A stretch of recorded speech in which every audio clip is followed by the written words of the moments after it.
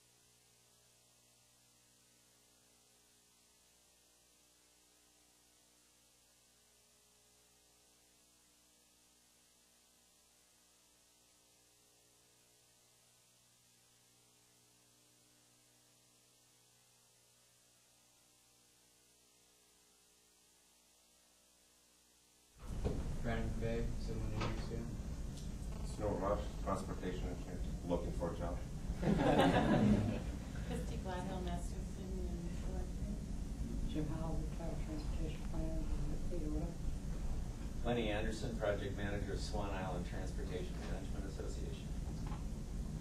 Andrea Allen, uh, civil designer, Harper Houf Peterson Righellis, as well as a graduate student. Valerie Horowitz, general manager of container marketing at the Port of Portland and Zach's dad. Jonathan Horowitz, I'm a senior in the engineering school here, and Zachary's second brother. Third brother. Third brother. Michael Wolf, I'm a master's student in civil engineering here at PSU. Uh, Ian Coltman, architecture student at PSU and friend of that. Ryan Frost, co-worker, David Evans and Associates. Cameron Gryle, co-worker, David Evans and Associates. Alexander Moore, I'm a community development member. So we're ready.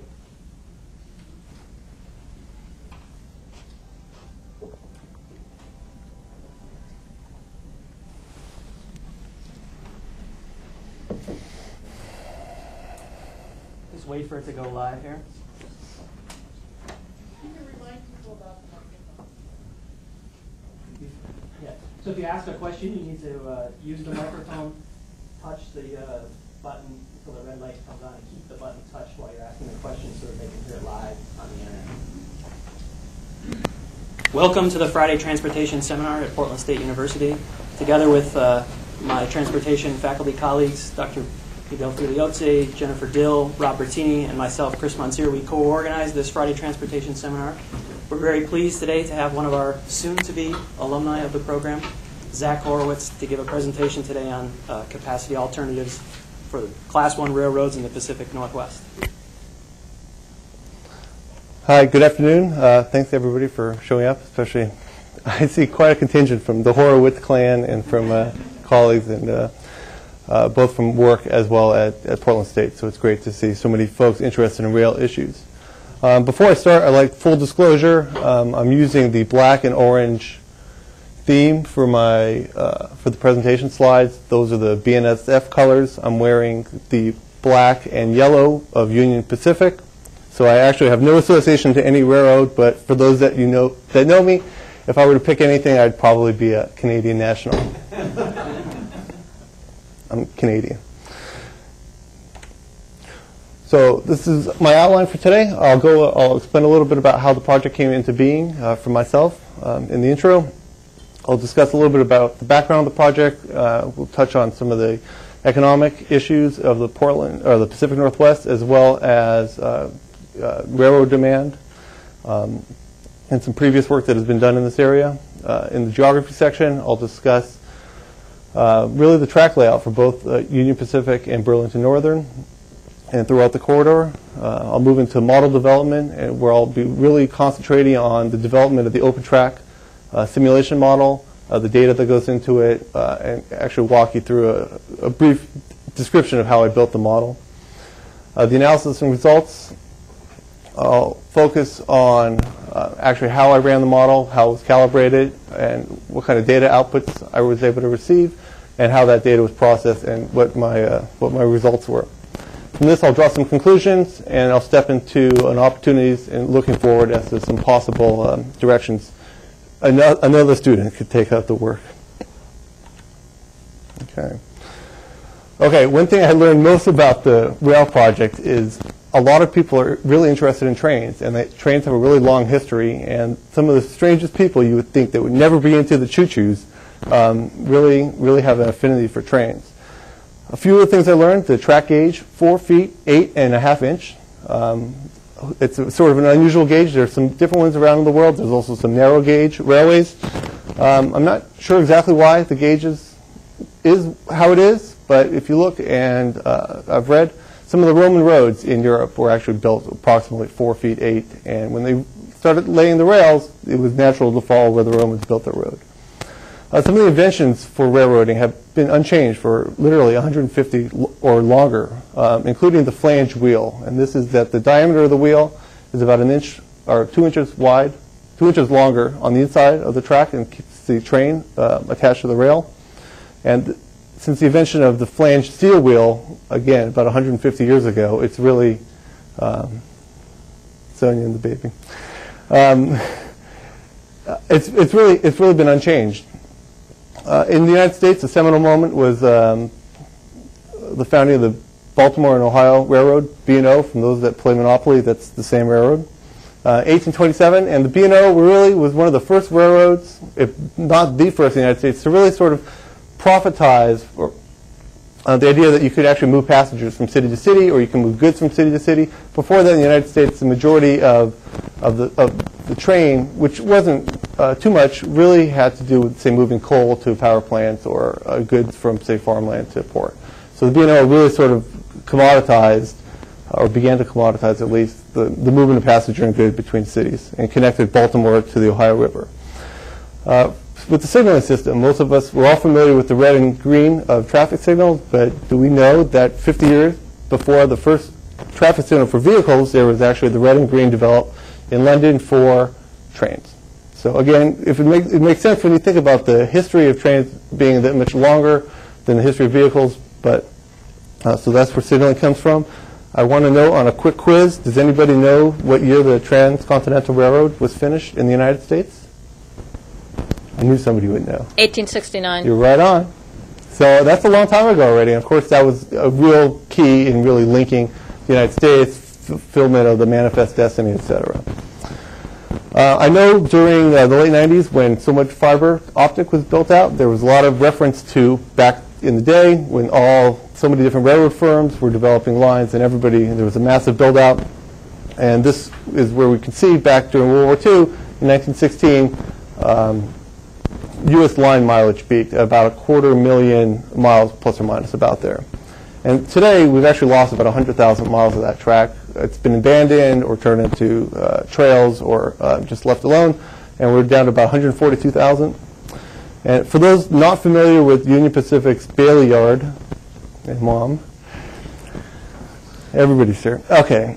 For those not familiar with UP Bailey Yard, I would encourage you to go to Google Maps or Live Maps and take a look at North Platte, Nebraska, and take a look at this yard. It's the largest rail classification yard, also known as a hump yard, uh, in Nebraska, and it's the largest one in the world, and it's absolutely amazing. In fact, actually, to go to the maps and take a look at rail lines anywhere, say throughout Oregon, you really learn a lot about the history and geography of a state or of a place by following where the tracks go and what cities it connected. And it's actually quite a different picture than where, say, I-5 goes. Looking at the project Genesis, um, this is my master's project for, for PSU and sort of the culmination of my master's program here, which is nice to finally get towards the end. I was looking, I was planning on going to the private sector and I was doing, planning on doing sort of consulting projects, which is what I'm doing now. Uh, so I wanted to do a project that was a little bit more project consulty rather than something that was strictly academic exercise. And my dad gave me an idea from some of the work that the Port of Portland had done with HDR uh, back in 2005, looking at this directional running concept, which is what my project was about. Uh, so he put me in touch with some folks there, and I did a number of interviews. I learned a little bit about the background of, of railroading in the Northwest, about the project in general, uh, again, railroads in general. From that, I sort of decided it was something that would be appropriate for the project. I went through uh, sort of um, like an analysis and an examination of different railroad simulation software. For example, a lot of the ones that the railroads use, they're very expensive and they're proprietary, and I didn't really see myself in the office of a rail firm actually doing the work on their machines. So I wanted something that I can run on a home computer. And this led me to OpenTrack. Uh, not surprisingly, uh, I couldn't find too many programs in the United States that actually did rail simulation. Uh, I had to turn towards our, our European counterparts. And um, this OpenTrack was developed at the Swiss Institute of Technology in Switzerland, and it really had a set of a feature set and ease of use um, and, and, a learning curve that was reasonable enough to uh, develop my project and to and to use it um, to get my results. And from all this, I worked with Dr. Monsere to develop an appropriate scope for the size of the project and, and move forward. All right.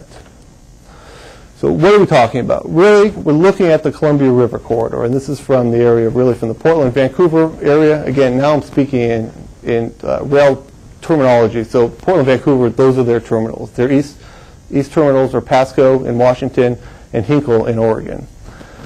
Um, we know the Columbia River separates Washington and Oregon. On the north bank uh, is the Burlington Northern uh, Railroad, uh, originally built by the Spokane, Portland, and Seattle Railroad just about 100 years ago. Uh, it's referred to in rail terminology as the Fall Fallbridge subdivision, which runs between Vancouver and Pasco. On the Oregon side, uh, the majority of the rail was built, uh, the majority of the currently UP line was built uh, from the Oregon Railway Navigation Company in the 1880s. Uh, but there were even a few sections around the Dalles that were built by the Oregon Steam Navigation in 1863. So it's actually a much older line uh, I think you could probably assume that the engineers at the time had a choice between either bank, there was no track there, and chose um, the more advantageous southern, southern route. Uh, that's referred to now as the Portland subdivision and goes from the Portland terminal area out towards Hinkle. Uh, switching gears for a second, talk a little bit about uh, the economy in the Portland, uh, which I've heard a number of lectures about from my pop. Um, we're heavily dependent on trade and transportation. One of the most often cited statistics about uh, both the Portland region as well as the larger uh, Pacific Northwest is one in seven jobs here are devoted or are related to some aspect of trade or transportation. Uh, a lot of this has to do with the Oregon and Washington's history uh, and still and still uh, main, major business of agriculture and natural resources. We export a lot of wheat um, or other uh, natural materials um, to the Far East and also bring in quite a bit of finished goods from there. Uh, naturally, um, ports and railroads are a big part of the transportation infrastructure here for shipping these type of goods. And sort of underlying everything is the growth that we've seen in the last 20 years and that are projected now for you know the next 25, 30 years. Um, so all these trends are expected to continue. So speaking specifically towards uh, railroad demand, uh, and this, these estimates come from a number of different sort of uh, papers that have been produced by the port associations, business associations, are really sort of looking at, uh, you know, the business climate in the future. Uh, so they're forecasting about a 60% growth in overall demand uh, in the next 30 years. Uh, it's broken down into individual segments based on the type of carload that the trains are carrying, uh, intermodal, and these are really talking about container ships, or sorry, containers that have been brought on ships from the Far East uh, to the United States and now are being loaded onto rail cars and trains and shipped to Chicago and points on the East Coast. So those grew about 3.5%. So that's the fastest growing, well, it's not as fast as passengers, but it's the fastest growing large segment of the of freight rail. Uh, other segments are bulk, and we spoke about this. Uh, this is agriculture and mineral goods, lumber, uh, general merchandise. Those are growing about 2.5%. Uh, autos is a strong area for growth for the railroads. Uh, these are referring to uh, foreign-made, Japanese, Korean primarily, uh, vehicles that have been shipped over on specialized ships uh, carrying just four cars. Um, most of them going to Terminal 4, the Toyota terminal, or up in the Port of Vancouver. And those are loaded onto specialized Automax rail cars and, again, shipped towards uh, other markets in the, cent- in the center and east part of the United States. And then passenger growth, there's also quite a, uh, quite a bit of growth in the uh, I-5 corridor. By the way, I'll take questions at the end, but feel free to stop me if you have a question on something I've talked about. So this is a schematic of the Portland Railway Network. I'll point out a few important uh, areas. Um, looking at the Columbia Gorge, sort of in yellow there. Uh, the blue lines represent uh, tracks owned by BNSF. The red uh, tracks owned by Union Pacific. Uh, the gorge is the area I'm main, mainly focusing on between the Portland-Vancouver terminal and Hinkle and Pasco. Uh, you can also see the uh, I-5 alignment, again, from the Portland-Vancouver area to Auburn and Everett. You say, well, why there's no Tacoma on there, or why is there no Seattle? Well, they're important cities, but again, in railroad geography, Auburn is where the Stampede line travels or begins its eastward journey, and Everett is where the Stevens Pass line begins its eastward journey. Um, so those are the two, there's three main lines for Burlington Northern in Washington, uh, Stevens and Stampede Pass in, in uh, sort of in the central part of the state, and the Columbia Gorge route uh, along the river. And those uh, have their terminals at Portland and Spokane. And the Union Pacific has their main line in Oregon along the river, as I mentioned. They also have lines going south to California. Um, actually, one thing that's on there somewhere in the middle of the gorge is sort of the, uh, the trunk line, the Oregon trunk line, uh, also a UP line. Um,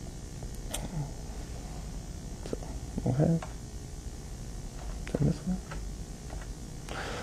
So, we have increase in railroad demand and a growing population and employment, and there's some issues now with the network in sense of its ability to sort of handle some of this additional traffic, both today as well as projecting to the future. So mention Stevens Pass, the most northerly line, is running 123 capacity. We say, how is that possible? 100% capacity. Well, there's certain times during the day or on certain days when there really is a lot of cargo that the railroads can set up their network to really sort of push extra trains through, in this case, 23% more trains. But there's, what happens on either side of the day or either side of, say, a three-day period is really you have sort of less capacity there. So effectively, 123 capacity over capacity, just like what we could be talking about for a bridge or for a highway project. Uh, the Stampede Tunnel is running at 60% capacity. So you say, well, why not just add trains there? Well, it's not so simple. Stampede Tunnel is a seven-mile-long tunnel, uh, has a grade, slight up, upward grade as it travels east. Well, seven miles is a long tunnel, even for a train that sometimes can average, say, 10,000 feet or 9,000 feet. Um, part of the issue is the hot gas expelled by the locomotives require mechanical venting. So really these gigantic fans help blow the smoke out through one side of the tunnel, really limiting capacity through the tunnel to about one train an hour. There's limitations there. In addition, a number of tunnels, and really, again, with rail, it only takes one tunnel, have ceilings that are too low to accommodate double-stacked intermodal cars. Well, that's where the growth is, again, 3.5%. Well, there's no point to run these trains with only one car. They are running them, but they're not as utilized as they could be, really just half as utilized. And this is now sending the trains to Stevens Pass or uh, south towards, uh, towards Portland and then out along the gorge. Uh, Also, just north of here in in Vancouver, uh, the Vancouver terminal itself is a is a capacity constraint, a bottleneck, in the sense of all trains that are passing through it must actually go through the yard rather than going on a bypass track. Now, this, uh, these constraints have been identified, of course, by the railroads, and they are making, um, they have proposed solutions, you know, raising the tunnel limit on Stampede Pass, for example, or put- building a bypass for Vancouver. And in the gorge, they're running about 70% capacity. So again, there's a little bit room to grow, but with 60% extra demand, it's going to get tight. In Oregon, uh, there's a number of issues with the Portland terminal. Um, I'll go into those in a second. And along the Columbia Gorge, uh, that line is running about 65% capacity. So again, not fully uh, built out in that sense, but, but close. As I said, the railroads are very interested in looking at this area, again, building on the demand. Um, and they've proposed any number of solutions. So the Vancouver Yard bypass, I spoke about that. Uh, one thing that can always be done, since trains are excel, themselves getting longer in order to move mo- more cargo with the same number of locomotives, uh, they've been talking about increasing sidings. Now, if you've looked at the alignment for BN, it travels very close to the gorge in some areas, and there's windsurfers out in certain parts that don't aren't interested in extra siding length because that is the best windsurfing area in the world. Um, and it's a national scenic area, so there's environmental constraints. And again, building track is very expensive, so the railroads want to make sure they're getting a good return on their investment. Um, something else that could be done, uh, double tracking certain segments, and this is really having a side-by-side track. So double track in some way, you can uh, sort of think about as a very long siding in some area. Um, there's new connections that can be done. There's some in the Portland terminal where trains actually have to back up in order to access track. Um, there's si- or there's turnouts, uh, basically curves uh, where trains are limited to 10 or 15 miles an hour. Uh, that's a capacity constraint. So out of all these solutions that have been looked at, uh, one of the things that have been proposed to really solve a lot of problems or to sort of ignore some of the other issues but really look at the capacity is this concept of directional running, which is the idea now taking in the gorge, taking the BN and the UP, which are two bidirectional uh, lines, and using them, uh, combining the infrastructure to operate them as a one-way couplet, much as what they've been talked about with Burnside and Couch. So instead of two two-way lines, you now have one, you have two one one-way, uh, either operating clockwise or counterclockwise, really forming a loop around the gorge.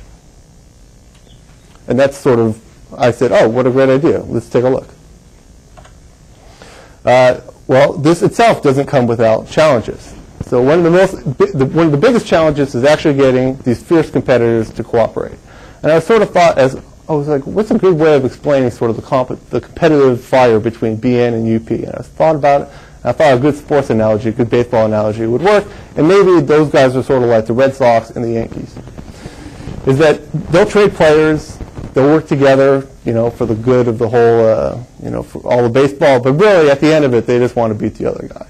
And again, these railroad firms have a hundred plus year history, and they're really, uh, you know, they have cooperated. It's not unheard of, um, but to overcome some of the institutional challenges in the in the two uh, in the two firms is actually quite a big challenge. Um, looking at the capacity of the terminals, Portland, for example, and the overall network, it would no, be no good to institute directional operations to increase capacity, say twofold, 200%, if the terminals were maxed out. All of a sudden, you'd have all these trains arriving at the terminals with no ability for the terminals to process the trains and route them, or for, for that matter, for the port facilities. Um, combining two, two railroads, uh, infrastructure and communication is a challenge. Um, the they manage is a challenge. Can you imagine a derailment and BN says, well, you were in charge, and UP says, "Mm, you were in charge. So that's a, that's a, that's a concern.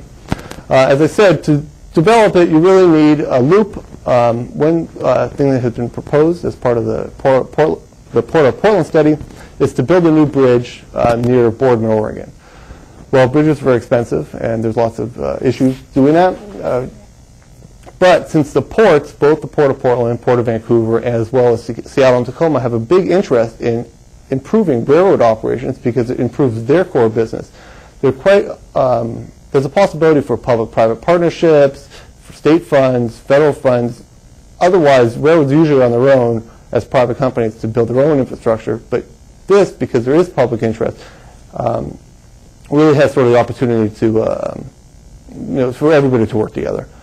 And fi- finally, uh, a big challenge is regulatory approval. Uh, Any directional operations would require approval of the Surface Transportation Board, uh, both the Federal Railroad Administration, as well as ODOT and WashDOT uh, organizations. So again, that's another, uh, another hurdle to step through. All right, my favorite part, the geography. Is there any questions up to now? Jim?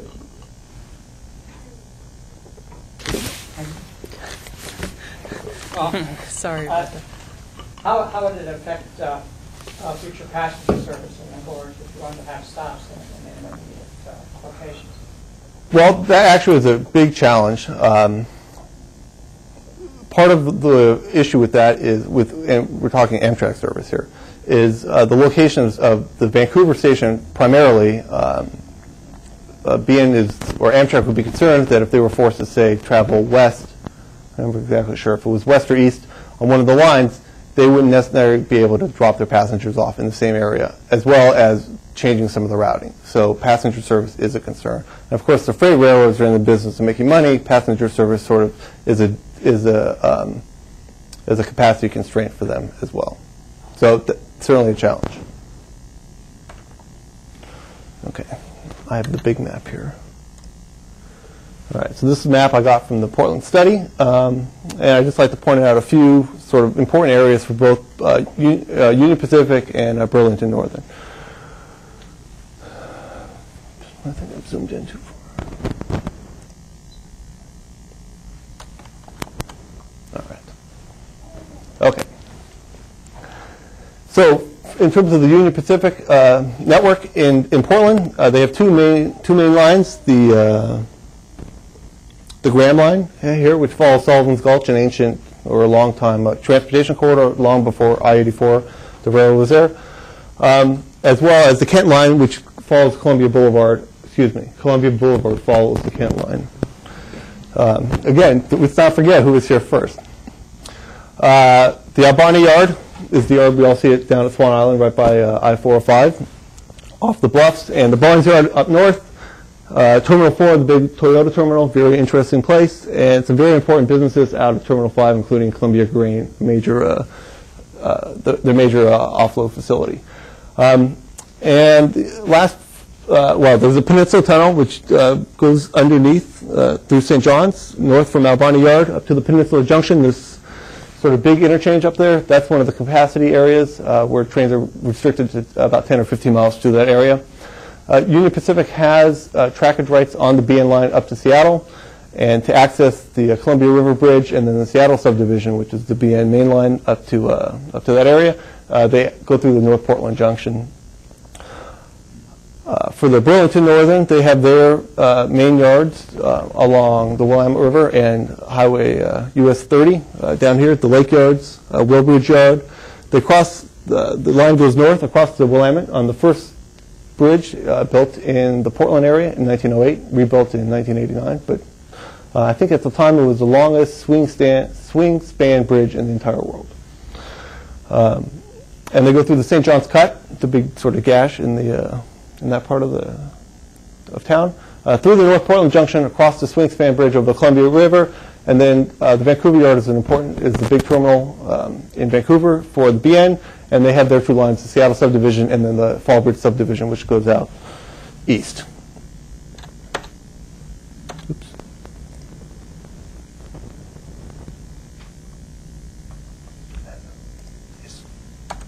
All right. Did I get everything here? Oh, yeah. Well, okay. Okay. So that's Portland, Vancouver. Now let's look a little bit about the larger gorge. Uh, the pink area is the National Scenic Area. So there's a lot of environmental issues uh, with improving capacity through there. Um, all, all these show you the length and uh, name of the sidings. And then you see out sort of on the east area uh, towards the Midwest through the Blue Mountain route and then up to Spokane and, and the Pasco terminal for, uh, for BN. And I'll talk a little bit about some of the geography through this area. So on the south bank, the Union Pacific, it's 150 miles studied as part of my model. Uh, the average grade is just under 0.2%, so pretty flat. Again, if you're a railroad engineer back in the day, you're building your tracks along the river. It's the most gentle grade, and every time you add a locomotive, they're very expensive, and um, you want it as flat as possible. Uh, for, uh, uh, naturally, 48% of the track actually zero grade. Um, between the Portland and Hinkle area, there's 130 feet ele- elevation gain, but it's not all straight up. The UP line is quite, is quite hilly, so it goes, there's up and down sections. Uh, 42% of the track uh, is curved, 58% is flat or tangent, and the curvature ranges from 8 minutes to about 6 degrees, 36 minutes. The majority of the track is less than 2.5 degrees Again, you're a railroad engineer, you want to build it flat, you want to build it straight. Uh, the 13 sidings studied um, 60, from about 6,300 feet to almost 13,000 feet. I think the shortest one is Bridal Veil. The largest one is something called Wyeth, I believe, which is right before Hood River. Is right. Uh, near the Dalles, there's about 22 miles of double track, so this is uh, something that had been identified a long time ago and um, increased. And the, my simulation stops at near Boardman, which is at milepost 165. So the BN network is a little bit longer. It's 167 miles. The grades, are, yes. Real quick, can you explain what a siding is? Sure. Uh, here, I actually got to. You're going to have me skip ahead, but that's a siding. So at the top area is your main track. You can imagine that's a long string.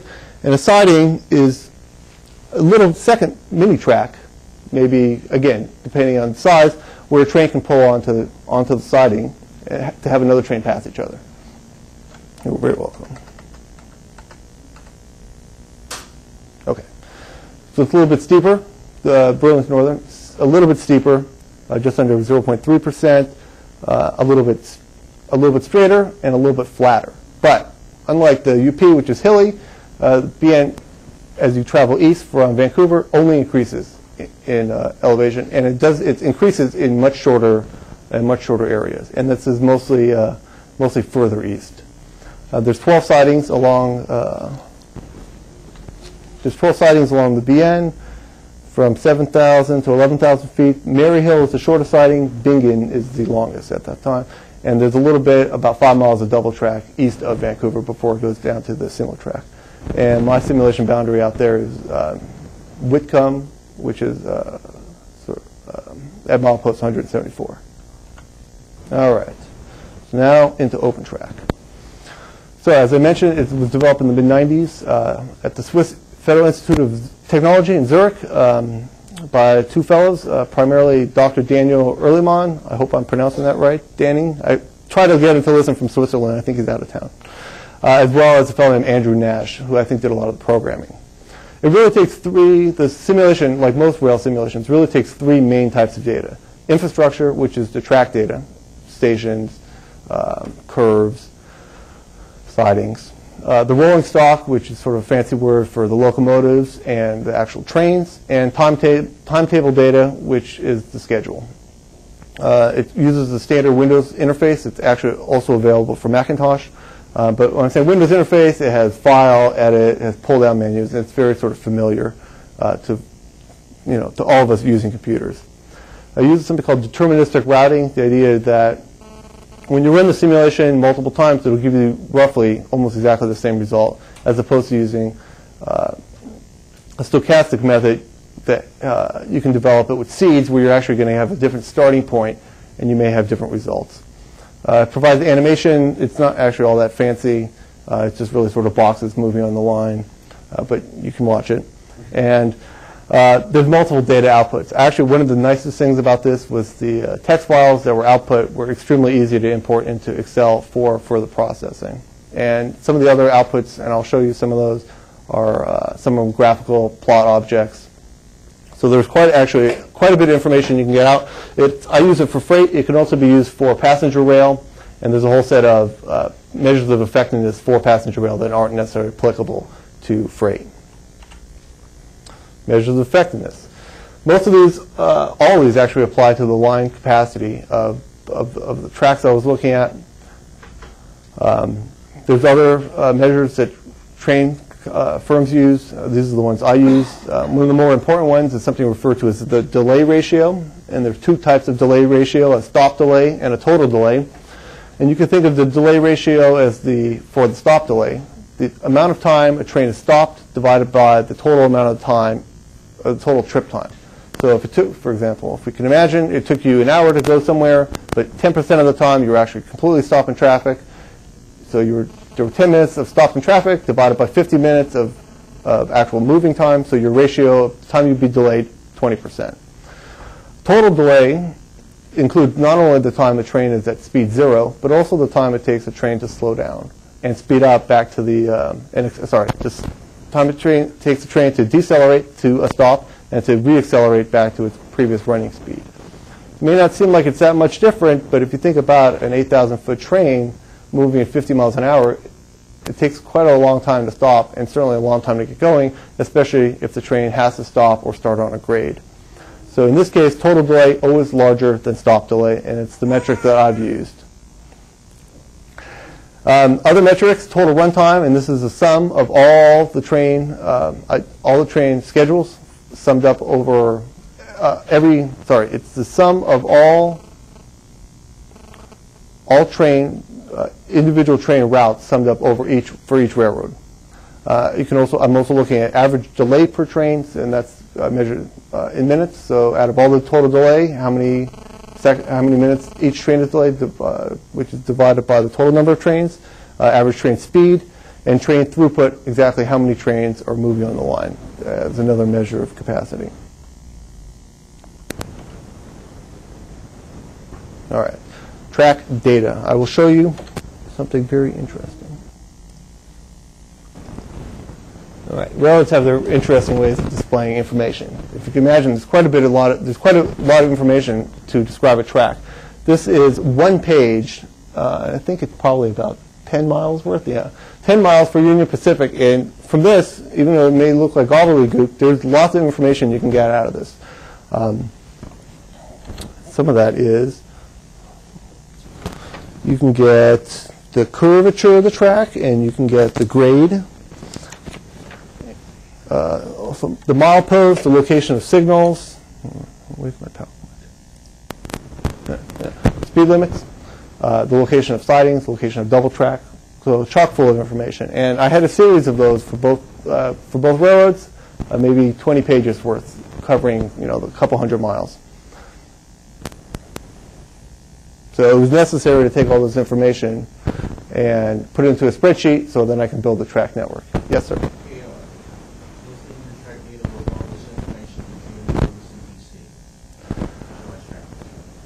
Well, right. One of the things that is noted on the track on the track charts are the type of signal control. There's centralized traffic control. So if you imagine these for Union Pacific, there's folks in Omaha sitting in front of computer screens monitoring the whole track.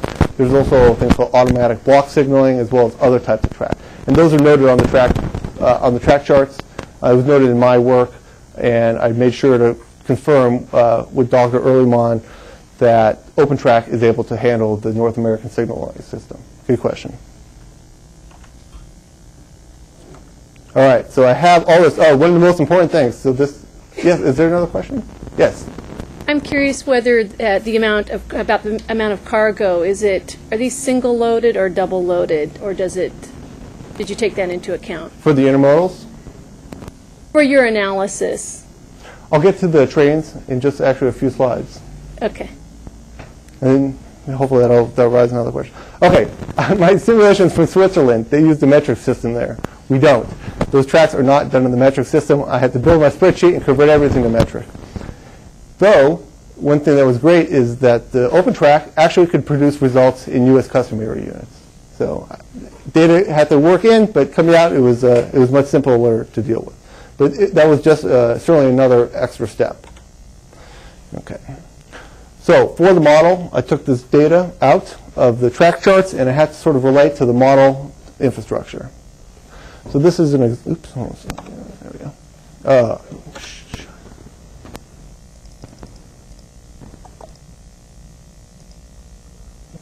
okay. On the right-hand side uh, is the tool palette. This is familiar with uh, users of Photoshop, etc. And we're looking at the worksheet for OpenTrack. Now this is just like a tiny little corner. It's really like this long thing, all the tracks. All those small little areas here are called verti- uh, vertexes, vertices, and they sort of represent every time uh, an actual segment of track changes. So I had to create one of those every time a grade change or a speed limit change, or the track went from tangent, straight track, to curved track, or when a curved track actually changes its degree of curvature. I think total for both railroads there were like 1,400 of them, so quite a number of changes. Um, each of the vertices are connected with an edge, which represents a track segment. Uh, you see sort of st- uh, stations. They're not really used. They're used mostly for data output as well as sort of uh, some control functions inside the model. Um, you see some of the sidings. There's also uh, lots of ability to add, um, you know, to add text so I can identify uh, you know, which line I'm looking at. Also, since the, I, could, I couldn't only make the worksheet so big, the line had to sort of snake back and forth, so I had to make sure that I had my east and west going the right direction. Um, so that was, uh, it was fairly straightforward. The instruction manual for the, uh, for the software was pretty good, so it was easy to follow along. After I built the model, again, representative of the tr- actual track network, um, I had to put in routing data. Now, this is actually not where the trains are going. It's just to build the ability for the model to handle where the trains are going. There are three levels of routing data. Routes, which really correspond to a block length, which is the distance between two signals. Uh, and that's, that's the main control, um, the main control piece for, for, for railroads. Uh, paths, which actually don't correspond to anything in the real world, it's just a data structure. And itineraries, which correspond to really where the trains are going to go. You know, you can send train from Pasco to the Port of Portland or from Hinkle to uh, the Port of Vancouver. So uh, what, the way you did it, really, so you're looking at signal A, uh, you can have the model um, sort of follow along to the next signal. So I'd create, in this case, two routes. I need one from signal A to signal B for a train that may be continuing on the main line. I also needed one from signal A to signal C for train that might be using uh, the siding. And you can see, based on the, uh, where the signal head is, which way, uh, east or west, uh, which uh, direction of traffic the, the uh, signals are controlling. For westbound traffic, you also have to do the same thing. I'd have a route from, from, B, to, from, sorry, from B to A. And if you can imagine, further off to the right, you'd have a signal D. I could build an itinerary that would go from signal A to signal B to signal D, etc. All right, now the fun stuff everything everybody liked about trains. They loved the locomotives because they're just amazing. Uh, most railroads use multiple uh, multiple different types of uh, locomotives for all different things. There's different powers. There's different sizes. Um, I wanted to find a representative one just for simplicity. I settled on the General Electric Evolution Series ES44AC. It uses AC traction motors. There's also ones with DC motors. Uh, this thing weighs 207 tons so like over 400,000 pounds. Uh, it's 4,400 horsepower, 73 feet long, top speed is 75 miles an hour, carries 5,000 gallons of fuel. Um, one way of measuring locomotive uh, power is using something called a tractive effort and speed diagram. Tractive effort is uh, really the ability for a locomotive to grip the rails and to get going to pull this enormously heavy, maybe 10,000 ton or 12,000 ton train behind it. And the faster the train is going, the less power can be associated, can be applied to uh, the tractive effort. Uh, there's something called adhesion, which is again a measurement of how much uh, the train's uh, power can be applied to the rails. And in OpenTrack, these can be accessed. Ac- uh, locomotives can be built and edited through uh, the engines menu. For the trains, there's multiple train categories, intermodal, passenger, uh, loaded trains, and empty trains. Each of those can be given a priority. For example, if you wanted passenger trains to have more priority over freight, uh, when those two might meet, uh, might, might be might meet opposing, uh, the, passen- the, the passenger train would be given the, the, the fastest path through. In my model, the empty trains out of all were given the, the least priority because, well, they're empty. Um, these are from the uh, trains menu. Uh, it's basically, again, a, a, big panel that you can enter your data. You can enter acceleration and braking rates, air resistance equations. There's a few different ones. I use one called the Davis equation. It's a quadratic uh, formula that's applied to, uh, to actual air. and also rolling resistance. And the model uses these equations to calculate train position and distance. Oh, she left, but here was her question. Okay, uh, now it was time to put all the trains together. I had the locomotives, I had, uh, I had my train types. So this is just sort of a summary of all the different things, but these are the type of data that you need to put in. Um, I had to make an estimate of how much, how full the train was. Of course, trains aren't running 100% full. I settled on 90% full, 70%. Maybe a little bit aggressive, but um, that's what I picked. Uh, you can see the train lengths. Uh, the passenger trains are the shortest, only seven cars, they're about 600 feet. The longest ones uh, were their intermodals, about 7,400 feet. Um, number, I have number of empty cars, number of full cars. There's a weight associated each of those. And then you can see the train weight. Again, the passenger, the smallest, only about uh, 500 tons compared to a fully loaded grain or bulk train, 15,000 tons. So that's a lot. I don't know, 3 million pounds? No more than that. A lot. Um, one other thing I had to do is apply something called the horsepower to ton ratio. So I mentioned the train 4,400 horsepower. If you're pulling a train uh, that weighs 4,400 tons, you have a ratio of 1 to 1. Uh, depending on the type of train and its importance to cargo, also the valuableness of the cargo, you want a larger horsepower to ton ratio. Uh, intermodal trains are given the highest priority. I had a ratio closer to 2. Uh, grain trains are uh, given generally the lowest um, horsepower to ton ratio, uh, about 1. Again, locomotives are very expensive, so railroads try and minimize their use, and they use the horsepower to ton ratio to do this. As it turns out, the grade is so flat, you can almost pull all these trains with a minimum. But I'm trying to anticipate the fact that they will continue on into a larger network and that they might need uh, additional locomotives to go through uh, hilly sections. Excuse me.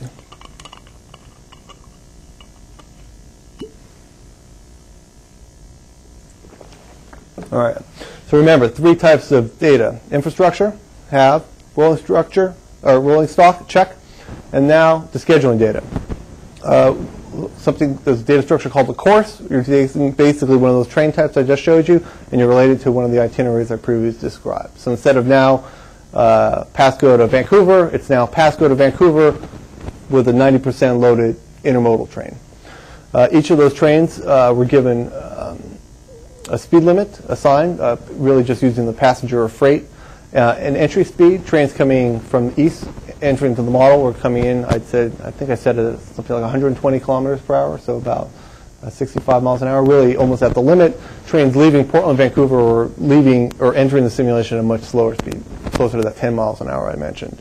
Um, also give each itinerary a certain priority.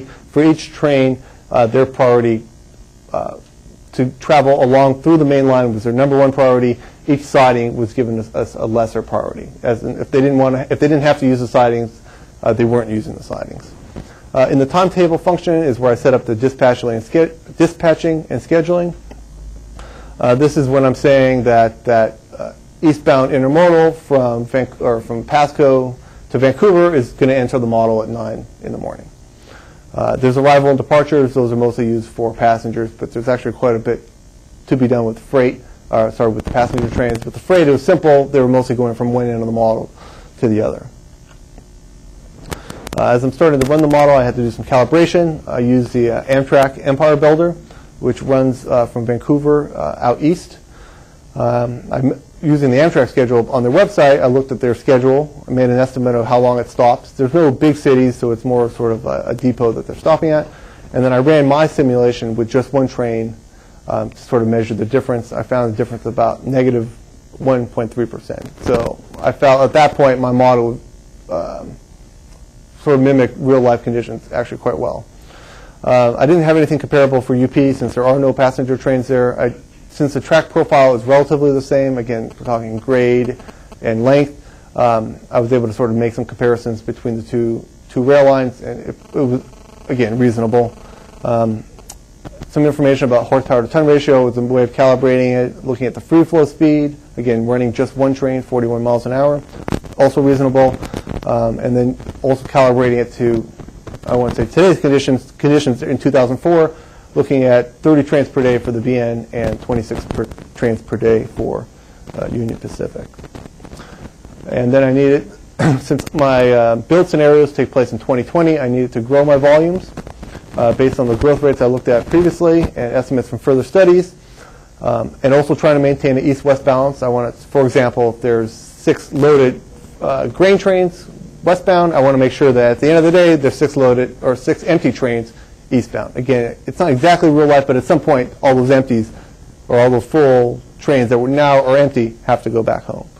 Um, using the growth rates, uh, I went from uh, the 56 trains per day total uh, today to 90 trains, a split 48, 42, uh, which is about 60% growth, and this is for 2020. And finally, yes. Um, did you get a? Did you look at? I know that they're redoing the Panama Canal. Did you look at how that would ultimately affect the amount of freight that's coming through the corridor? I could say definitely I did not look at the Panama Canal. But, uh, you know, that does have some effect on, of course, uh, demand. Yeah. Um, I can answer your questioner in the back by saying that the Panama Canal is unlikely to affect cargo moving through ports in the Pacific Northwest, much more likely to affect cargo moving through Southern California ports rather than PNW ports. Okay. Um, oh, some other key assumptions. Uh, based on an NCHRP report I read, the way to maximize capacity is to run your trains evenly throughout the day. As you can probably imagine, this is not what occurs in real life, but I'm having an idealized model here, so that's exactly what I wanted to do. Uh, at least for existing conditions, I wanted all my trains to complete their uh, model run in 24 hours. This wasn't quite possible under the conge more congested conditions under the build scenarios or the no build. Um, but even though they're all uh, leaving um, approximately uh, with the same amount of headway, I think it's reasonable to assume that the interactions between the trains in the middle of the line mimics conditions at some point during uh, a standard day. I'm assuming no service disruptions. The railroad companies would be happy to hear that this would be the case all the time, but of course it's not. Uh, another important thing is under directional running, uh, the line, uh, the path from Pasco to Vancouver is now instead of about 100 or instead of about 200 miles, I think it's a little bit closer to 240. Cru- uh, railroad crews are limited by their union rules. They're only allowed to work, I'm not exactly sure, 10 hours or 12 hours at a time. And um, you don't want, if, and when they get to their time, the train just stops. So I, I'm assuming that the union's been worked out and everything's okay with the crew. And EOT stands for end of train device, which are the red, there's no more cabooses, which for rail fans is a real sorry state of affairs. So now they just have a blinking red light. Um, and I guess sometimes those are not, uh, there's not enough of them. So I'm making sure that there's always one of those for the train. And, and again, another big assumption is that the tracks and terminals are able to ac- accommodate this demand. So in spite of all these, um, spite of all the assumptions, I'm proceeding as if they all can be uh, worked out. Yes, Jim. These 2020 assumptions, Yes. so we're assuming that possibly the Pioneer might be back and there might be greater headways on the- on Empire Builder. Well, I assume the 5% growth for that. So I think I'm going from, um, I'm trying to think how many trains. I think I have two trains, one, two trains today to six trains in the future. So a 300% or 200% increase. I'm not sure if that would include the Pioneer. I'm I, can't, I can't remember if that's actually part of the estimate. Okay. Uh, yes? Well, I didn't look at uh, the I-5 alignment. Um, one thing that's really important to know about my models, I'm not looking at a lot of the interactions in the Portland-Vancouver terminal area. I'm really just sort of taking the gorge um, in isolation. It's not, of course, how uh, the railroad companies would do it, but there's, you know, there's only so much time, right? Of course, if I was doing it for the railroads, I'd be hired by the railroad. All right, so now we're into the meat, if you can believe it. So first I um, model our existing conditions, again, 2004. Uh, even though there are some train interactions, uh, especially in the terminal areas between the two firms, I simulate them independently. My computer is six years old at home. I needed to get this done at some point. Um, and running them independently gave me a much better uh, chance of actually getting through some of the um, some of the issues I had in running a full simulation day. It also made uh, data processing easier, and there were no effect because the lines are operated already independently, uh, so it was just much easier for me. Uh, to do some calibration for existing, I ran a total of nine runs, four for BN, five for UP. The difference between all the runs had to do with train order. Uh, sometimes I ran like all the uh, intermodals first, and then all the passengers, then all the grain trains, you know, then all the empties. Um, of course, again, that's not realistic. I try to play around a little bit just to see if there was too much difference, and at the end, I averaged the results. Um, the other thing I looked at between the two runs are I changed some of the adhesion profiles. There's uh, a good, a normal, and a poor. Uh, really, what you can imagine is that good would be your ultimate, your best conditions. Um, normal might be a situation where, say, there's some ice on the track, or it's been raining, and the and the locomotives can't uh, grip the rails quite a bit. Uh, or maybe a poor situation is you might have wet weather as well as, say, poorly maintained track track that's you know, very slightly out of gauge, it makes a little bit of a difference. Uh, acceleration profiles really talk about the ability of the train engineer to operate the locomotive in the best possible manner at all times. Of course, not everybody's, um, you know, not everybody has, say, 30 years experience as an expert, and there's some variation in, uh, from conductors, um, uh, or I guess engineers uh, operating the train. So again, I try to do a few things, and my results for existing are average across all these. As it turned out, they partly because of the grade and maybe the locomotive assignments, uh, there wasn't really all that much difference. So again, total delay ratio, the total, um, the total delay ratio being the most important. Uh, BN had about 11%, a little over 11%. Union Pacific, 8%. Now, not to say one track, one line is operating better than the other, but there's less delay based on the average runtime for Union Pacific. Um, as of uh, some time ago, uh, Washington Department of Transportation uses a measure of about 10% for sort of a moderately heavy, uh, getting close towards capacity constraint for the line. So you see UP is a little bit under that, uh, BN's a little bit over that, sort of corresponding with uh, sort of that 70%, 65% capacity ratio we saw earlier. Uh, for runtime, uh, again, some of the 30 trains for BN, about 125 hours, just about 100 for Union Pacific. The delay for being closer to about half an hour per train. For UP, 20, about 20 minutes per train. Again, not to say that every train is being delayed, say 30 minutes. Some trains could be delayed an hour. Some trains could actually experience no delay. This is just the average across all. And then the average speed, both about 70, uh, about 41 miles per hour. So these are fun. So this is what's referred to as a train diagram. It's really, for those familiar with uh, a space-time time diagram, it's really your x of t of graph. It's your, your location in space uh, based on time. And on the bottom axis, you see the time, the 24 hours of the day.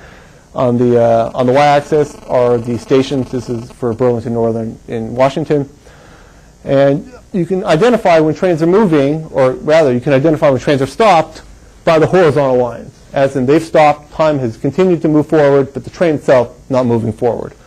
For the most part, you can see that the spacing out uh, really has sort of brought in this idealized uh, uh, travel pattern. And for the most part, trains have maintained their, um, their headways between each other. I think throughout the day, the average train would pass, say, four, three to five trains, or four to five trains uh, on its journey uh, east or west. This will be a little bit more relevant when you see actually what the ones for the no build look like. So for no build, also sometimes I refer to as the 2020 volume using the existing operation strategy, which is again each line uh, operating independently. Uh, with the growth in trains, you see uh, the delay ratio for Burlington Northern up from 11% to about 14%, so a little bit of rise, but more dramatically, the rise in the delay ratio for the Union Pacific, going from 8% to about 17%. Uh, total, in terms of total runtime, they're both up about approximately the same, about you know somewhere 75 and 80%. Uh, but on the average delay per train, you see that the Burlington Northern has now gone from 28 to 40 minutes, while the UP has gone from 18 to 44 minutes, 140% increase. Excuse me. Um, and that delay per train is immediately, it's uh, obviously uh, reflected in the delay ratio and in, in the, much uh, larger increase for Union Pacific. Yes? When you were figuring out the increase in capacity, does, you assume there'd be more trains. Is it possible to have more cars per train? Oh, that's a good question. That is a good question. Um, I tried to make the existing conditions to have the trains a little bit longer and a little bit fuller to um, account for possibly some of the longer trains. But that- in terms of capacity, you're right. Uh, With the, with the sidings as they are, uh, some of the longer trains may exceed, some trains in the future may exceed sidings that they do not exceed today. No, that's actually a good point, something that I probably could go back and, uh, and do some adjustments. Um, Back to this, for the train speed, uh, because of the increase in delay, you see a little bit reduction in speed, which is a natural uh, phenomenon. All right, so again, looking at Burlington Northern, you see now the lines much closer together and a larger number of trains experience some of this horizontal, uh, horizontal, well, horizontal from the chart showing that they're stopped. In fact, you can actually see some of the trains near, uh, just past the noon hour, that while they started off with maybe a headway of, say, 50 minutes, for the majority of the run, they're really running a block signal apart. And um, this causes additional delay for trains moving the opposite direction because a lot of times two trains are going to be required to pass, depending on which train has stopped at the siding, which train has priority. So, much tighter. So, after looking at this, I've now gone, yes? ma'am. Oh, I'm sorry. How is it decided which train has priority when using the siding, or if there were two trains waiting to employ that? I've, I assign priority based on the valuableness of the cargo. Uh, I try to give passenger trains the, because those are, they're uh, schedule, uh, well, they're very important cargo too. Um, I try to give passenger trains, uh, since they're on a tighter schedule, freight not necessarily as tight, to give the most priority. Uh, intermodal trains, because they are the growing part, the fastest growing part of rail freight, as well as some of the most valuable. Um, a lot of times, stuff in containers also is refrigerated, so there's a certain amount of time uh, that they can be on the rail. Those are given priorities. And then for the least is the empty trains.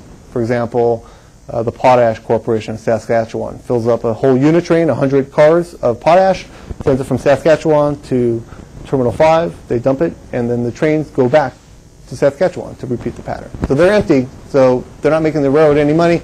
Those are the trains that you want to sit on the track. But there's no, like, uh, rule or sort of law or agreement between different companies as to which uh, train would have priority in that situation? Are you saying based on the trains, the railroad company's agreement with, um, with the shippers? Um, Well, that's a good question. I believe there's, without, I don't know too much about that. I know that trains operate manifest trains, which are the type of trains that run on a set schedule. So those trains are running on that schedule.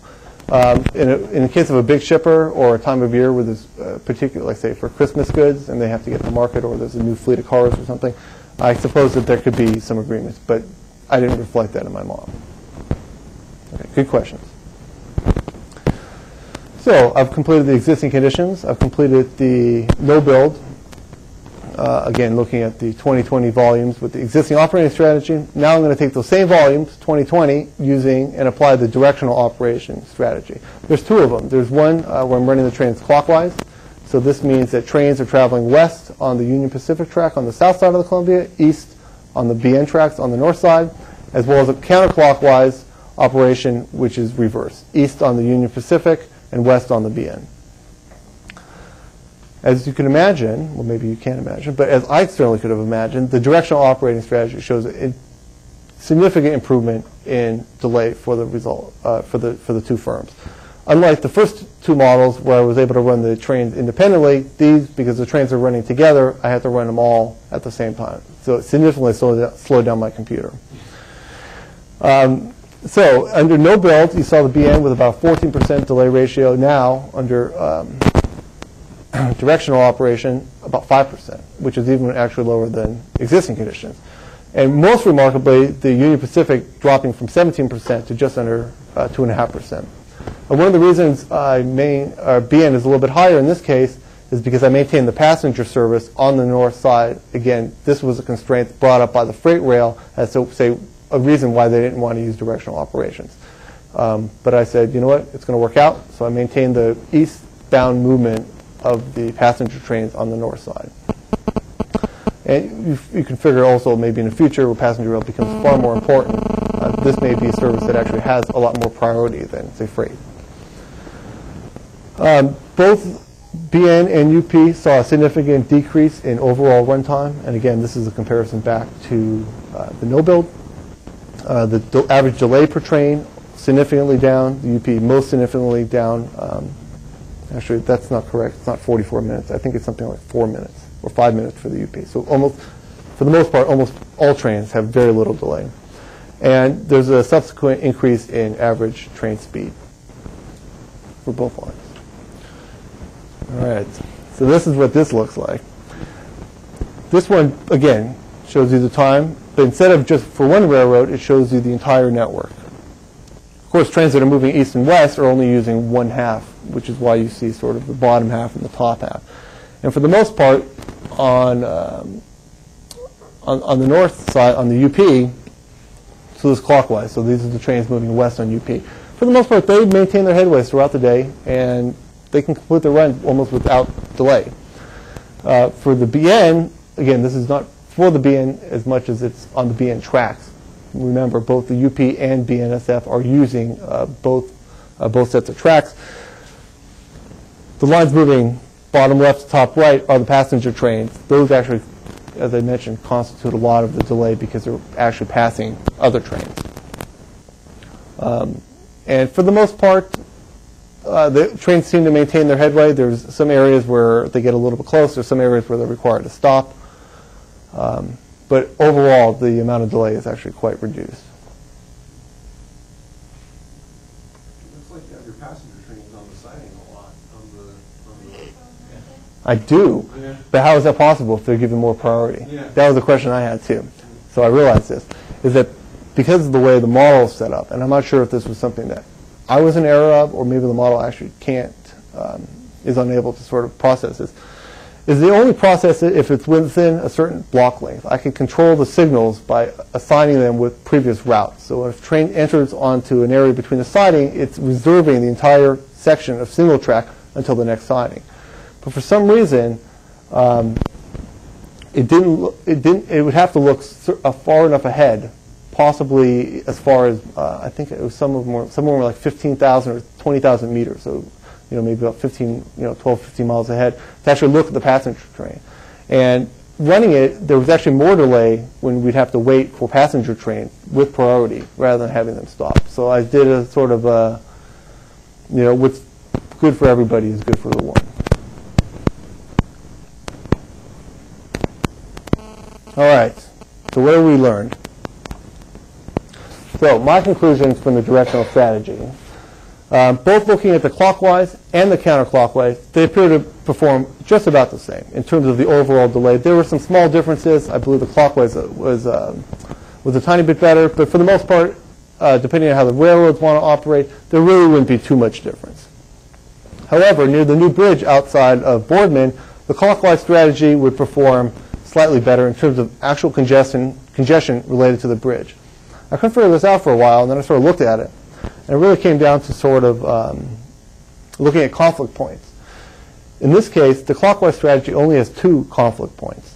The counterclockwise strategy has three conflict points. And this is related to the BN, the fact that they actually don't have to use the new bridge because of their uh, tracks from, from the Whitcomb area, sort of the end of the model, up to Pasco. They have that ability to sort of continue on that side, as well as running on the east side, sort of the east side of the Columbia River after it turns north. So they can enter the model near the UP tracks as well as enter the model near the BN tracks. Uh, so there's a bit of an advantage uh, for the BN there. Um, using the directional strategy, uh, we were able, I was able to identify significant delay and capacity improvements. Again, measured on total delay or measure on train throughput, we're pushing the same number of trains through with less delay, which means to get the same number of delay, you can maybe increase your number of trains 50%, 75%. Uh, one of the most uh, important findings uh, that I'm going to conclude is that the UP appears to benefit quite a bit more. Well, so what? Except for the BN, remember we're going back to competitive differences. These are fierce competitors. Is BN really going to want to help their uh, Union Pacific when they see that in 2020, doing nothing, they're going to be more constrained. And then under their strategy, even though that the BN would see significant improvements, they would see more improvements for the competition, which would mean less improvements for the BN. Now, these guys operate on a you scratch my back, I scratch your back, maybe down in LA or somewhere.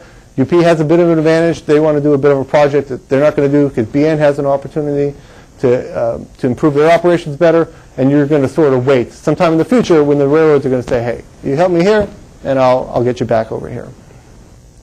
Um, also, the fact that the BN is not really going to be using the bridge because of their track location, they may not be interested in putting money up for it, or they may be interested in putting up less money than the UP, or they may be interested in putting up the same number of uh, dollars, but not spending as much on maintenance. So a lot of issues sort of uh, come out from that. Um, and again, you know, there's some significant competitive hurdles to overcome. Some future opportunities, other than the fact that what people pointed out to me today. Uh, one thing I certainly can do is to improve the model. So I submitted, along with Dr. Monsere, my paper to TRB. I thought I had a good shot of uh, making it. Unfortunately, I didn't make it this year, which is ironic because one of the reasons I did this project, as I said in the beginning, is I wanted to do sort of a project, like a real-life project. Well, the feedback I got from the TRB committee said, well, this is a great project, well-written and all that, but it's only useful as an academic exercise. So I want to go back to improve my model. And they made a lot of comments saying there's no, you know, you identified your assumptions in the model, but it also sort of rendered it a little bit sort of simplistic. Um, so one thing I can certainly do is to add in some of the operations in the terminal area, again, Portland, Vancouver, Pasco, Hinkle, to accommodate for some of these other issues that have been brought up. You know, do some of the issues with uh, train priority, um, as well as there's a lot of other trains. There's garbage trains that go to Arlington on the Oregon side for Metro. Uh, also, maybe try out some of the other improvements that the railroads are, um, are, are, planning, increase double track or improving sidings. Uh, I can make my di dispatching a little bit more realistic, actually say go out in the field and, and measure trains as they pass a certain point. Um, individually, I can look at each railroad and do some mainline uh, individual line analysis. Like example, I can again the model's built, so if I wanted to say just look at BN operations, maybe they were thinking of doing improvements that had nothing to do with the Union Pacific. Is I could go through and use my model to, to to measure some of those things. I could test line improvements. One of the big issues I noticed um, is both firms have three sidings that are too short to accommodate the larger intermodal trains today and then some of the larger uh, grain trains tomorrow. Well, Union Pacific can come back and say, well, I want to, we have money to improve one siding. Which of the three sidings, which door, do I want to improve? And I can run the model and say, if you improve siding A, you're going to see this reduction in delay. If you improve siding C, you'll see this much reduction in delay. And that might provide them um, uh, some additional data to make their uh, management decisions. You know, one thing with modeling generally is that while it's been used extensively for highway traffic for a long time, the railroad companies have only now, in the last, say, 10 years, the last decade, really to start, uh, really started using uh, software, this type of software for, for their planning. All right, acknowledgments. I'd like to certainly thank Dr. Monsere. He was like a, a rock for me, Help, really helped me through uh, answering a lot of my questions, putting me in the, uh, keeping me focused, because this took about 18 months, so I really needed the academic support. Uh, Dr. Daniel Hürlimann from uh, Zurich, he let me, he said, well, I can give you the software, but it's like 3,500 Swiss francs, which I don't know how much is in dollars. But whatever it was last year, it's certainly a lot less now. Well, the dollars would be more, yes. Um, so yeah, so he actually donated and it, it became part of uh, the PSU ITS lab, their, their matching funds for their university transportation center. So it was great to contribute to that. Um, folks in the Port of Portland, my dad, uh, Anne-Marie Lundberg, who's no longer there, and Craig uh, Levi, also no longer there, uh, both met with me on multiple occasions and sort of walked me through some of the work that had been done and some of where I needed to go in the future. Carl Warren, also not at the port, um, had actually done a capacity study of Stampede Pass for his master's at University of Washington about 10 years ago, and I have a copy of his uh, paper that I really uh, leaned on heavily for a lot of questions, how to read the track charts, for example. And Bill Burgle, for those of you who know him, is an incredible guy. He works for HDR. He was uh, sort of the brains behind a lot of the studies that HDR did with the Port of Portland And I had a very informative uh, couple hours with him and some follow-up emails that he helped me. But these guys were all the most important, but the most important is Sonia and my new daughter, Avital. They were, it was tough to get this project done after the baby was born, uh, but it was all worth it. And when you see like smiles like that, it's really, it really is great. So they, they, they stuck through it. Sonia, a big thanks, sort of supported, I mean, did support me for my two years or a year and a half at school. She was the major breadwinner. I did the cooking and cleaning. So, so I couldn't have done it without them. And I'm happy to take any questions. Thanks for listening. So I want to, before we start the questions, I want to remind people to use uh, the microphones at your desk, keep the red light lit, so people on the web can hear. And people are watching on the web because some of them have already sent in questions. And one quick one I'll put out because it was asked a little while ago was about how many um, at-grade crossings were there in this system, and is that taken into account because do trains have to slow down when there's at-grade crossings? There are lots of at-grade crossings. I assume that the trains truly had priority at all the at-grades, and I didn't, and thus did not take into account any uh, vehicular traffic. Yes. Um, first, congratulations. I think. Thank you. Comment though about the next steps. You, I, I think you didn't include um, maybe including delays, the impact of delays, because I think uh, maybe delays would affect more the single track operation than the loop operation. So I guess if there are delays, like in real life, maybe the loop operation would have even greater capacity than single track. And and the other thing is maybe you incorporated these things, but you didn't really talk a lot about the safety constraints you need to have. I mean, the distance between trains, the, the speeds, and so on. Mm. And I assume that was complicated to model and to put into your program. So just if you can comment on, on that. Well, regarding delays, uh, one thing I didn't mention with the directional operations is it does include the sum of both train delays. Uh, or sorry, it's, it includes the sum of all the, say, the BN trains operating both on the BN track and the UP track. So that should account for some of the differences between the single line.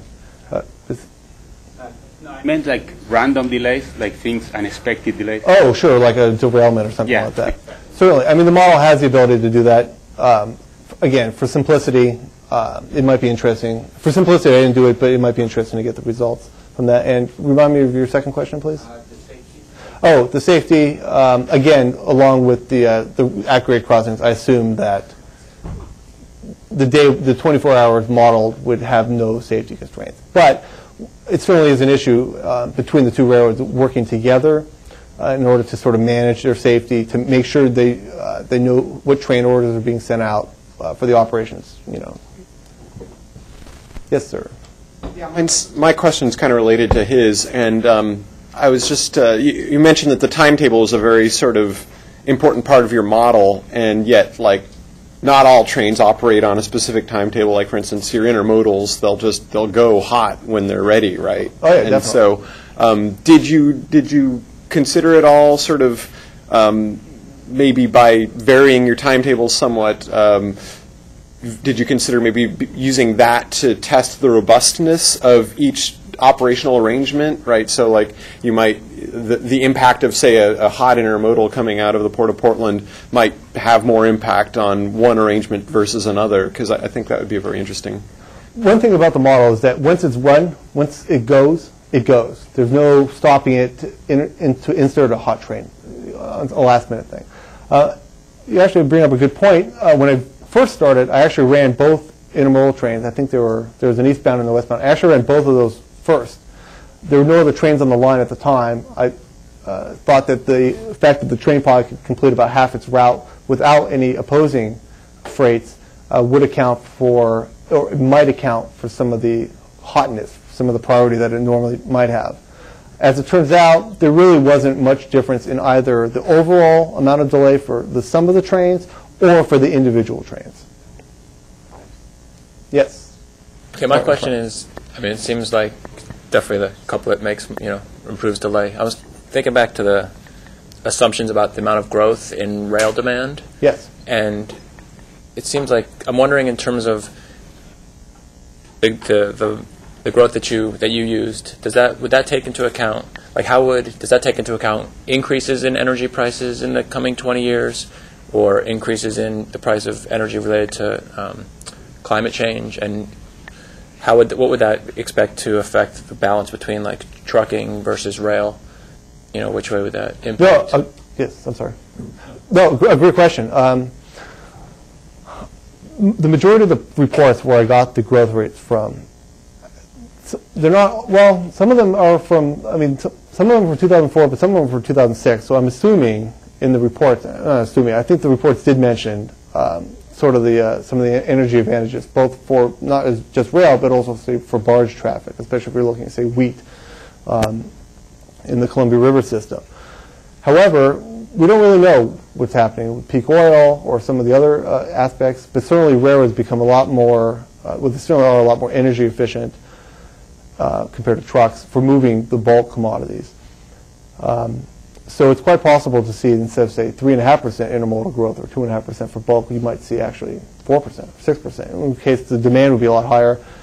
Figuring being at least a little conservative, again, using the estimates um, and erring on that side, directional running would become even more worthwhile if you had double the growth, say. So, you think peak oil could cause more rail traffic? Well, I wouldn't say peak oil as much as I'd say, um, I'm hedging here, uh, as much as I'd say just the general cost of energy. Or, you know, I mean, one issue with uh, trucking, especially a lot of agricultural products, is there's an enormous um, destruction of the of the actual roadway, which costs DOTs. So they may be interested in subsidizing rail, which increase the traffic there. So there's the future. You know, it's an empty road. We don't know exactly what's happening. But yeah, it would increase demand. I would expect. Yes, sir. Uh, yes, sir, um, you're talking to an Amtrak conductor, so I understand what you're coming from. All right. Okay, but, but the major, but the major reason why I- I'm asking this question, because even myself, with my trains, um, have you, uh, ever asked UPS, because those are, the those are the hot trains, are UPS, and what, what you're saying just a minute ago, um, do you think there's gonna be more of an increase with the UPS actually switching over from trailers to, uh, trailer on Blackhawks? Um, I don't know. I suppose. I mean, that's a, that's a great question. I'm not really sure. It's it's again with the future. I'm really trusting in the in these uh, sort of these expert reports that I, I looked at, really, which were four or five of them, and I believe that for the most part they did try to see the future um, and look at some of the some of the trends in railroading uh, relation to ener- energy prices, relation to cargo, uh, as a way of um, of making their growth estimates. Again, anything that would place anything today that would place an additional strain on capacity would most likely be alleviated by um, by a directional running operation vis-a-vis, um, say, a no- a no-build operation. Yes, ma'am. This is kind of a political issue, but it seems to me there's a good argument here for more public investment in increasing track and not make the railroads do it all themselves. Well, that's a big. That, that's a serious. Uh, that's definitely a great question. Um, the trucking industry always has something to say about that, of course. Uh, I like trucks too. Uh, but the fact is, is that for the most part, and maybe for history, one way or the other, um, railroads are private. You know, they're they're private corporations, and you know, especially in today's transportation finance uh, constrained environment. Um, first of all, there's not a lot of public money for public infrastructure, let alone private infrastructure. Uh, one of the things that struck me most about this pro- project um, is the, the bridge at Boardman, again, being something that really, for the most part, primarily, you know, 95% benefit private enterprise.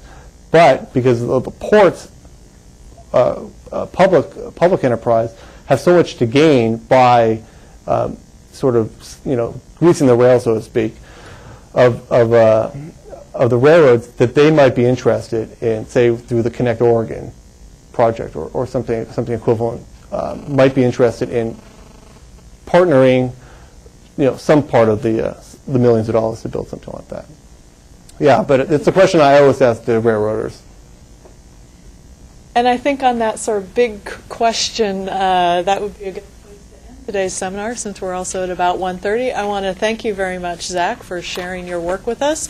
Um, And I'll put in a plug for next week's seminar. We have uh, Sharon Wood Wortman, the author of the Portland Bridge book, to talk about uh, bridge uh, in the Portland area. So I think that should be quite interesting. Look forward to seeing you there, and thanks again, Zach.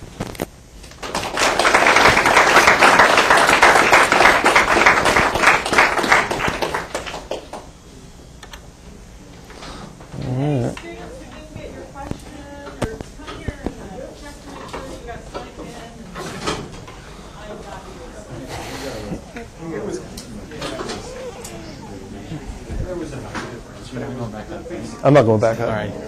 Nice. Thank you. Good now. Now now I know a lot more. There you go. See where I've been hiding, keeping him out of the basement? Well done,